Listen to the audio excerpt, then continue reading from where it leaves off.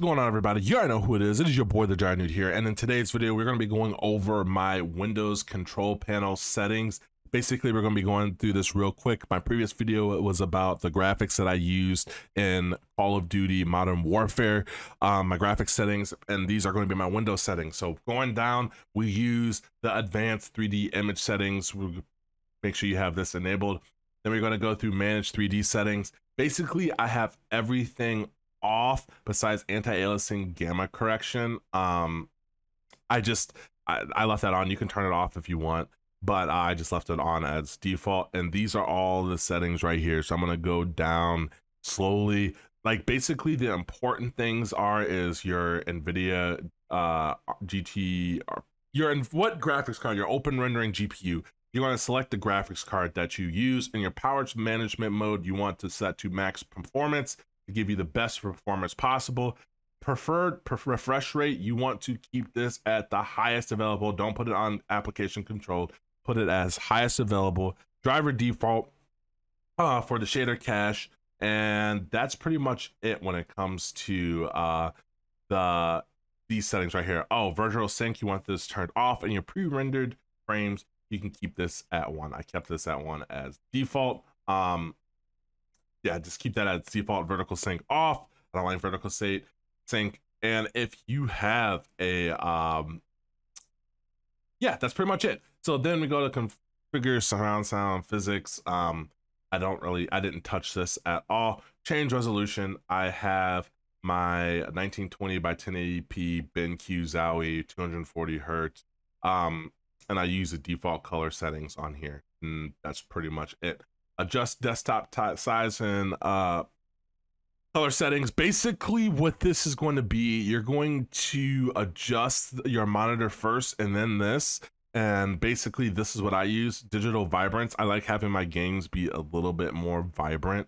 So 55 to 60. Uh, 60 actually works pretty good on this BenQ monitor. Your gamma is basically how bright the game is. Okay, so your gamma correction. Um, is basically going to be how like bright the screen is, right? Your contrast, a lot of people like to play on a higher contrast. Uh, I personally think leaving it like 55. I like to see gray. So if right here you can see the gray as I turn this up, I don't know if that shows it, but I can't see. It's like white now. So I keep the contrast like around 52, 55. Brightness, this is the brightness of like your screen. Um, personally, around 55 to 60 for me like I said, I'm on my BenQ monitor right now, so it's really good when when it comes to like brightness and all that. Uh, and then digital vibrance, like we can keep that like at 60, and then my brightness at 55. Yep. So and then you just want to make sure you hit apply to all the changes that you're making. Rotate display. I don't rotate my display. This I don't bother with this. Um, this is my Elgato that I have, and basically this is the adjust desktop size and position. I use no scaling and I have it on my display. Some of you might not have this. Keeping it on GPU is okay. And make sure your refresh rate is about the same. Set up multiple monitors. These are my monitors right here. So uh, if you have another monitor and it's like this, make sure to drag that down like that because you don't want to uh, like especially with like if you're using a dual PC setup. If you're using a single monitor setup, like it's fine like this or like this, right? Um, so say you have like two monitors. This is a virtual monitor. My monitor two is a virtual monitor from my Elgato.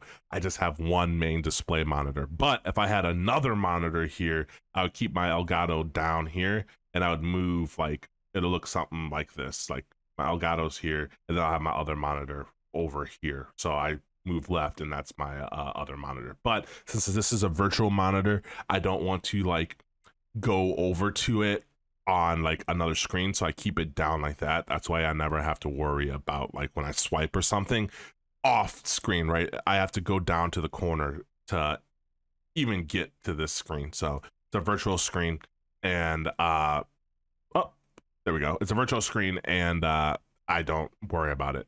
Uh just color size and settings uh use nvidia settings and then gamma advanced. You want to go full rgb and you want to apply okay this is the full range, the full color settings. Uh, adjust video desktop or adjust video image sizes. I keep this at default. And that's about it, guys. That's my whole uh, NVIDIA control panel settings. Um, hopefully this helped you guys out and will help you with uh, getting more FPS in your games. As always, guys, my stay blessed and humble, and I'll catch you in another video. Peace.